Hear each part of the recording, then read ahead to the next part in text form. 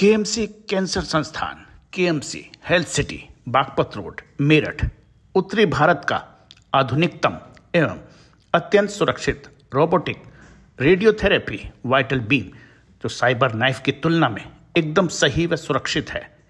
Rapid arc से सुसज्जित संस्थान 24 फोर इंटू सेवन, हर प्रकार के कैंसर के ऑपरेशन कीमोथेरेपी और प्रत्येक प्रकार की रेडियोथेरेपी व रेडियो सर्जरी उपलब्ध है।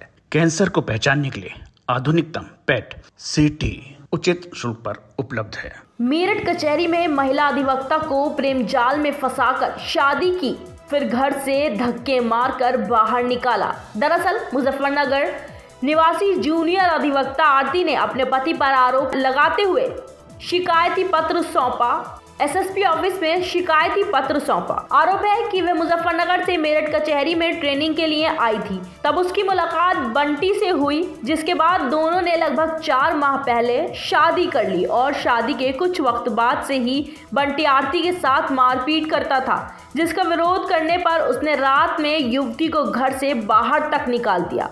जिसकी रिपोर्ट करने पर भी कोई कार्रवाई नहीं हो रही। पीड़िता ने एसएसपी ऑफ़िस पहुंचकर न्याय की गुहार लगाई। देखिए। मेरा नाम आरती है और मैं मेरे कचहरी में ही प्रैक्टिस चल रही है मेरी। इस बार फाइनल ईयर है मेरी एलएलबी का। इस बार फाइनल हो जाएगा और मेरी प्रैक्टिस कर रही है। एसएसपी ऑफ़िस आई हूँ मैं। मेरी शादी हुई थी अभी कचहरी में एक लड़का रहता है, बंटी बंटी नाम का। उससे मेरी मुलाकात हुई थी चार महीने पहले। उससे मुझे झूठे बातें बना के, वादे करके उसने मेरे से शादी कर ली। शादी हो गई जी शादी को सिर्फ़ चार महीने हुए। चार महीने में ही उसने मुझे ताने देना शुरू कर दिया। तुम अच्छी लड़की नहीं हो, तुम नीच जाति की हो तो मुझे तो दहेज चाहिए, मुझे तो ये सामान चाहिए, मुझे कार चाहिए, मुझे टीवी चाहिए, कभी कुछ कभी कुछ। मैं जैसे बीच में मैंने उसको बीस हज़ार रुपये ला के दिए घर से, जो उसने मुझे कपड़े दिलाए थे, उनके उसने पैसे मांग लिए, मैंने दे दिए।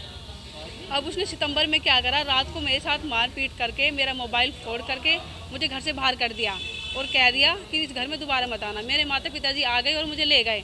एक हफ़्ते बाद फ़ोन आता जी, मुझे तलाक चाहिए। बिना किसी लड़ाई के, बिना किसी रीज़न के उसको तलाक चाहिए। मैंने उससे माफ़ी मांगने की कोशिश करी कचहरी में कि मुझे माफ़ कर दो। अगर मेरी कोई गलती है तो कोई बात नहीं, मैं ही माफ़ी मांग लेती हूँ। वो कह रहा है कि, तुम्हारी कोई औकात नहीं है, तुम नीच जाती की हो। मैं तुम्हें नहीं रखने का। तुम यहाँ से चली जाओ। धक्के मक्के मार रहा है मुझे कचहरी में भी कचहरी से मुझे मना कर दिया जी मैं नहीं रखने का। अब मुझे पता चला कि नौ तारीख में उसने तलाक का डाल दिया। तलाक का डालने के बाद मैं उसके घर पे गई कि भाई तुमने तलाक का क्यों डाला? मैं तो रहने के लिए आई। तो उसके माता ने, उसके पिता ने, महेश ने और मेरे पति ने, आशीष बंटी ने मुझे धक्के मार के मेरी मम्मी को, पापा को बाहर कर और गली में मेरे से बदतमीजी करी, मेरे कपड़े फाड़े, मुझे पीटा, मेरी बहन को, मेरे पापा को, और उनका ही, उल्टा उनका ही चलान करा दे दोराले थाने से।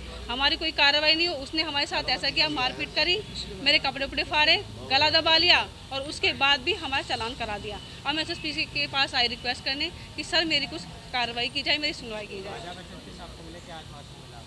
आश्वासन एस साहब कह रहे हैं कि हम जल्दी से कार्रवाई करेंगे, दो तीन दिन में। अब देखते हैं कि हम उनकी उम्मीद पे उनका विश्वास है कि क्या होता है आगे। अभी के लिए इतना ही, आप देखते रहिए फ़र्स्ट बाइट डॉट टीवी